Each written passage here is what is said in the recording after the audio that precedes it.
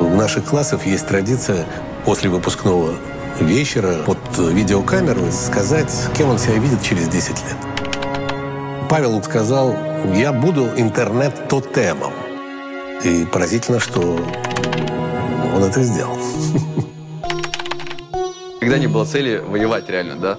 Всегда была цель поставить какую-то амбициозную задачу и идти. Я бы сравнила его с Нео из «Матрицы». Хотя, может быть, с Нео из «Матрицы» это на первом этапе его становления, а сейчас он ближе к Морфеусу.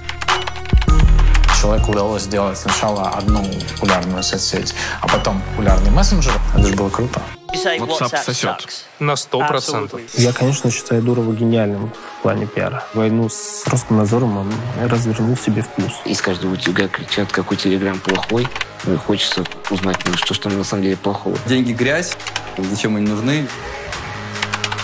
Страна должна им гордиться. Но, конечно, его философские взгляды не выдерживают никакой критики. При всем многообразии инструментов все равно Telegram является главным рупором свободы слова. Американские регуляторы не согласились э, с нашим видением мира. Вот он сейчас только что их послал куда подальше, а они это проглотили. Но из всех своих сражений он выходил победителем, и это делает его лидером. Человеком, который ведет за собой нас в будущее. И в этом его будущем нет государственных границ, нет государственных валют. А технологии помогают реализовывать человеческий потенциал, а не ограничивают его.